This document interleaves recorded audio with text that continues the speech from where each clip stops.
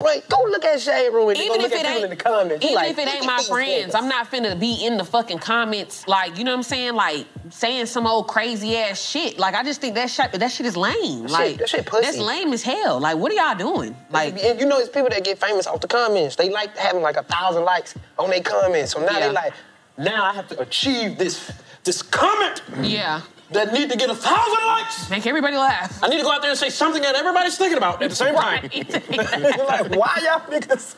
What? Why you just couldn't keep that to yourself? No, that's why I got a show called Say That Shit Now. Mm-hmm. There's so many niggas in the comments that ain't gonna say that. sh- You know what? You know what I say? Just They like not- you said. not gonna the niggas that's in the comments are the people when you was in school that was in their lockers going straight to their class.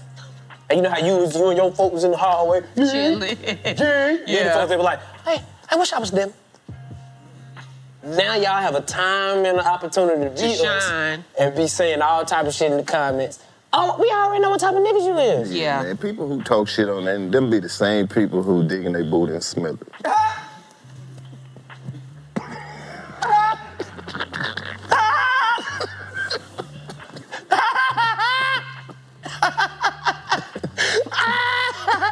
Cause I'm just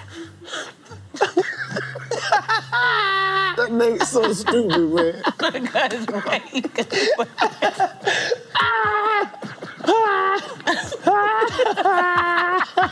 cause wait, wait, wait, wait, wait. Oh, shit. He talking about I told you, man, that nigga crazy, dog. Don't don't fuck with him, man.